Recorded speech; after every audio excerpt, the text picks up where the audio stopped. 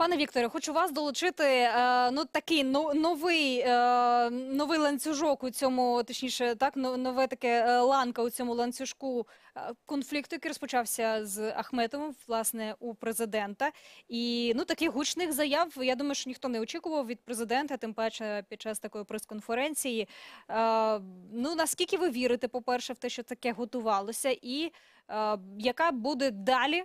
Реакція між обома учасниками цього скандалу, тому що ну Зеленський заявив досить резонансні речі, звинувативши майже е, Ахметова. Ахметов сказав, що він дуже обурений поширенням цієї брехні. Куди далі вони зайдуть? Ну, дивіться, що я хочу сказати. Ну, перше, я дуже сумніваюся в планах щодо е, військового перевороту, путчу, як би там його не назвали, державного перевороту, будь-якого нелегітимного зміни влади, на який би підписався би Ахметов. Він ну розумний, принаймні, хоча б не він, але його в принципі аналітична служба достатньо розумна. По великому рахунку все прораховується, і е, будь-яка така незаконна нелегітимна зміна влади вона не принесе користі, в тому числі Ахметова. А от е, заява е, Зеленського тільки про те, що Ахметов може брати теоретично участь у якомусь е, незаконно незаконних дії, обвалила там. Євробонди ДТЕКа там, по-моєму, на 13% вже на сьогоднішній на цей момент. Тобто, тут з одного боку, е, от така історія, що е, я так думаю, що тим більше, що у Ахметова є інші інструменти, і самий сильний його інструмент це Україна 24 і канали Україна, де в принципі можна просто обвалити все, що завгодно, рейтинги і все, що завгодно. Але або Тут є так, одне так би но. мовити, електробонди України теж можна обвалити компанії ДТЕК у відповідь президентові. Да, але от так, от я що про що хочу сказати. Але розумієте, в е, у війні між бізнесом і державою бізнес ніколи не виграє, особливо у війні між от такими от олігархами і державою е, ніколи бізнес не виграє, тому що держава має набагато більше інструментів впливу на е, олігархів ніж навпаки.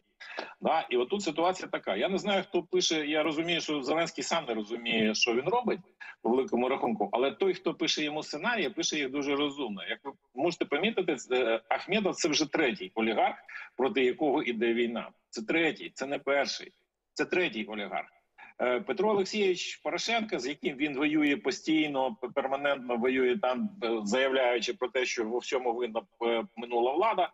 Це перший, з яким він почав воювати, і воює достатньо успішно, тому що Петро Олексійович загнаний в свою електоральну нішу, і більше він нічого там немає, і навряд чи зможе отримати. Навіть при тому, що Зеленський буде втрачати, то це буде рости не у Петра Олексійовича Порошенка. Другого олігарха загнали взагалі в, СІЗО, не в СІЗО, а скажімо так, на під домашній арешт. Це мається на увазі.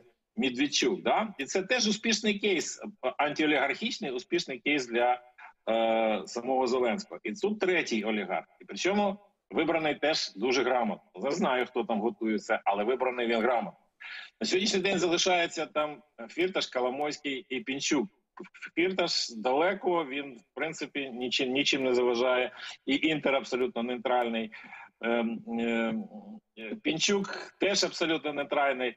От Коломой е, зараз почалася війна з Ахметовим. Да? І причому ця війна з Ахметовим вона цікава, чим вона закінчиться. Але на мою думку, ну точно олігарх не може перемогти державу, якщо держава буде е, серйозно цим е, займатися. Да? Якщо це просто-напросто посил до е, Ахметова, там Рінат Леонідович, прекращай мене мочити на своїх каналах, і ми далі поміримося.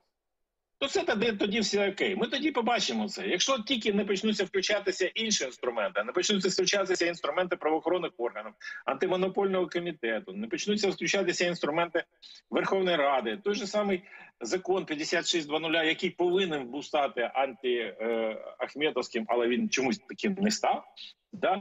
То в принципі це просто-напросто така собі е, подача про те, що давай миритися, Рінат Леонідович. Так, Але ну, якщо почнеться Вікторе, включатися все інше, то чекайте, я скажу, тут саме цікаве буде.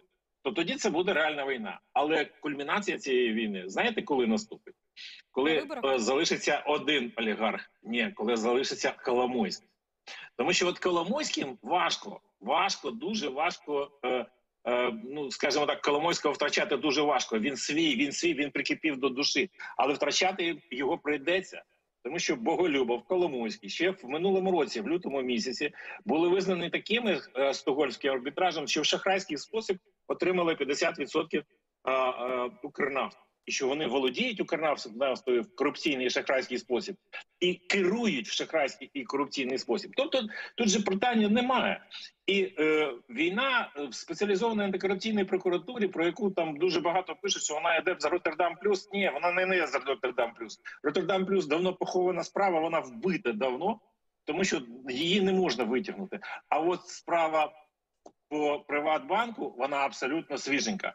Про Боголюбова, про Коломойського, про Яценка, Дякуємо, про бухгалтера, про, про Дубілета. І там готові, готові підозри.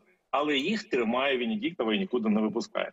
Вот де війна буде цікава, розумієте? Ну але Оце дивіться, е, так ну це насправді такий оптимістичний починається- сценарій. Ви взагалі описали, що коли залишиться лише Коломойський, тоді почнеться справжня боротьба. Те, щоб взагалі залишився лише Коломойський серед олігархів.